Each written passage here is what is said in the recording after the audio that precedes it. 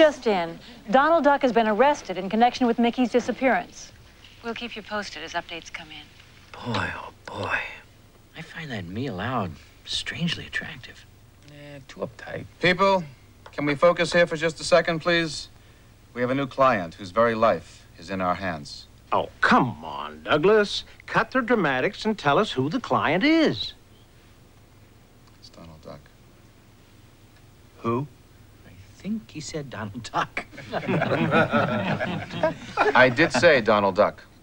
The evidence against him is purely circumstantial. He deserves the very best representation this firm can offer. But it's out of my line. I mean, now, if Daisy Duck was suing him, maybe, but it can't be me, unless he's accused of feathering his nest with some illegal funds. I say we give it to Victor.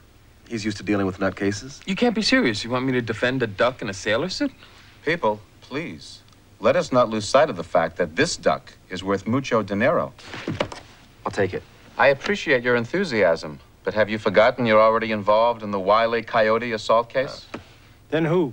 Hmm? You haven't got all day. Sorry I'm late, Douglas. I'll make it up to you. Michael, have I got a case for you?